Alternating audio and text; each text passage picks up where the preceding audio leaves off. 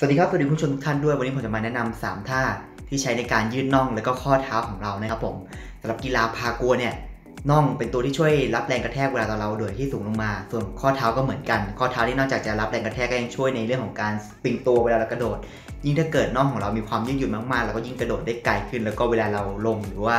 ตัวที่สูงลงมาเนี่ยมาช่วยลดโอกาสบาดเจ็บของเราแล้วก็ทำให้กล้ามเนื้อของเราฟื้นตัวเร็วขึ้นนะครับเพราะงั้นน่องกับข้อเท้าเนี่ยต้องยืดเป็นประจำทุกวันสำหรับคนที่เล่นกีฬาพากัว ผมบอกเลยว่ากีฬาพากัวในส่วนขาเนี่ยควรจะยืดตลอดเพราะว่าเป็นจุดที่เราใช้เยอะมากๆนะครับโอเคเดี๋ยวเราไปดูกันเดี๋ยวว่า 3 ท่าที่ผมจะมาแนะนำนี้มีอะไรกันบ้าง ไปดูกันเลยครับท่าแรกจะเป็นท่ายืดน่องนะครับผมก็จะเหมือนในคลิปเลย คือเอาขาข้างหนึ่งไปด้านหน้าก่อน แล้วก็เอาขาอีกข้างไปด้านหลังนะครับ อันนี้เราจะเน้นกดตรงส้นเท้าของเรา กดส้นเท้าของเราให้มันติดพื้น ถ้าใครติดพื้นไม่ได้ก็ไม่เป็นไร การที่เราเหยียดขาไปด้านหลังแล้วก็กดส้นเท้าของเราเนี่ย มันจะช่วยยืดกล้ามเนื้อน่องของเราตรงนี้นะครับผม เราก็จะดันเข่าอีกข้าง แล้วก็โน้มตัวไปด้านหน้า เพื่อช่วยให้มัน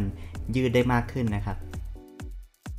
ท่าที่สองท่านี้ยืดกล้ามเนื้อน่องกับข้อเท้านะครับผม เราจะเอาเท้าไปข้างหน้าของเรา ดันกับกำแพง พยายามให้มันตั้งฉากนะครับ เราพยายามดันไปข้างหน้านะครับผม เราจะโน้มตัวไปด้านหน้าด้วยเพื่อช่วยให้มันยืดได้มากขึ้นนะครับไอ้เท้าที่อยู่ข้างหลังเนี่ยเราก็ใช้ช่วยดันเพื่อให้อีกข้างมันยืดได้มากขึ้น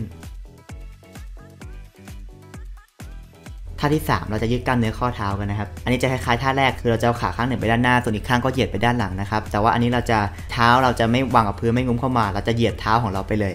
แบบนี้นะครับ แล้วก็ใช้ปลายเท้าของเราดันกับพื้น อันนี้เราก็ดันขาอีกข้างแล้วก็ดันตัวไปข้างหน้า เพื่อช่วยให้มันเหยียดได้มากขึ้นนะครับ อันนี้ถ้าเกิดเราทำถูกจะรู้สึกตึงๆ เจ็บหน่อยๆตรงข้อเท้าของเรานะครับ ถ้ารู้สึกอย่างนั้นแสดงว่าตอนนี้เรายืดกล้ามเนื้อข้อเท้าของเราอยู่นะครับ โอเคครับทั้งหมดก็คือท่าที่ใช้ในการยืดน่องแล้วข้อเท้านะครับผมเป็นท่าง่ายๆที่ทุกคนก็ทำกันได้นะครับ ผมบอกเลยว่าจะเล่นมือถือแล้วทำไปด้วยกันได้ ซึ่งผมก็ทำอย่างนั้นประจำพูดตรงๆเลยเรื่องยืดกล้ามเนื้อเนี่ยบางทีผมก็รู้สึกเบื่อเหมือนกันเนี่ยมันจะไม่ต้องทำโอเค ก็เป็นว่าขอบคุณผู้ชมท่านที่รับชมมาเดี๋ยวพบกันใหม่ในคลิปหน้า ผมโค้ชเซกิพาโค expert แล้วพบกันใหม่สวัสดีครับ